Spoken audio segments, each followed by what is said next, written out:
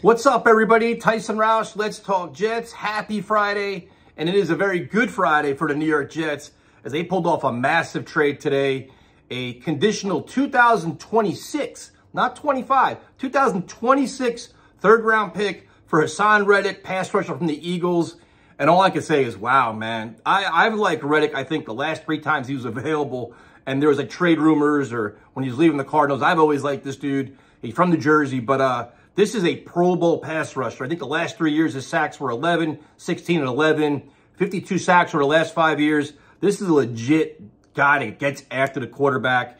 And when you look at the playoffs this past year, the, the key to winning games is defense, speed on defense, and closing out games. And that was one of the concerns you have when the Jets lost Bryce Huff is, you know, if you had the lead in the fourth quarter, who's going to get to the quarterback? And now everybody wanted to say, you know what? You want to see Will McDonald take the same step as same step as Jermaine Johnson did.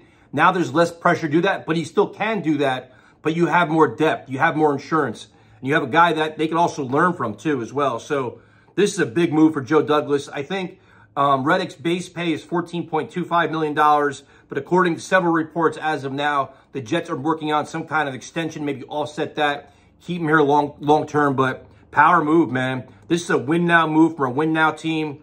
If now, if I was, if I were the Jets, if I'm looking to keep spending money, I'm looking at the wide receiver position, man, because with Mike Williams, when you're unsure of when he's going to return, I'd like to have another veteran guy in the group. But in terms of this defense, man, they are locked, they are loaded. I can't wait to see him on the field, to be honest with you, because this is this is good, man. This is like, it just seemed like, what, a couple weeks ago, everybody hated Joe Douglas.